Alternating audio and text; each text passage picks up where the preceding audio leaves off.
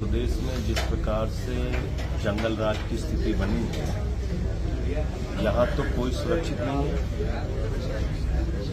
उत्तर प्रदेश की राजधानी में लखनऊ के अंदर संजीव जीवा को कोर्ट में मार दिया गया। कोर्ट के अंदर मार दिया गया। जो न्याय का मंदिर कहा जाता है। कहा जाएगा आदमी? इसी प्रयागराज में क्या हुआ? पुलिस के सामने इनकाउंटर हो गया। पुलिस के सामने गोलियों से भून दिया गया। इसी प्रयागराज में क्या हुआ? दिन दहाड़े उमेश पाल की हत्या हो गई। तो अपराध जिस तरीके से उत्तर प्रदेश में बढ़ा है और खासतौर से ये जो एक ट्रेंड चला है कि राजनीतिक दलों के नेताओं को टारगेट कर करके उनको मारना, उन पे हमला करना, उनकी हत्या करवाना, ये तो बहुत ही खतरनाक चलन शुरू हो गया।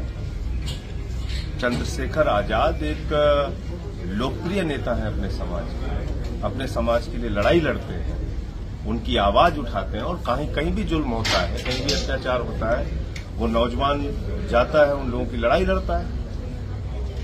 ये अखर रही है सरकार को बात। नोएडा में सीएम तो मैं मैं मैं सिर्फ़ ये कहना चाहता हूँ कि इसकी गहनता से जाँच होनी चाहिए कौन से लोग हैं ये? दिन दहाड़े एक ऐसे व्यक्ति पे जो अपने वंचित समाज के लिए एक मुखर आवाज़ है। उस व्यक्ति पे जानलेवा हमला होता है? इतनी इतनी अपराध की छूट कैसे है उत्तर प्रदेश के अंदर? सीएम ये बड़ा सवाल है। सीएम योगी पिछले दिनों गए थे नोएडा में उन्होंने कहा कि अपराधी ठंडे हो गए तो वहीं उसी पश्चिमी इलाके में इस तरीके की घटना हुई। नहीं ये तो विपक्ष के नेताओं को ठंडा कर दिया जा रहा है। विपक्ष के नेताओं को ठंडा किया जा रहा है। टारगेट कर करके। उत्तर प्रदेश के अंदर आज एक ऐसी स्थिति बनी हुई है, कहीं भी हत्या, कहीं भी डकैती, कहीं भी बलात्कार, कहीं भी लूट, कुछ भी हो रहा है।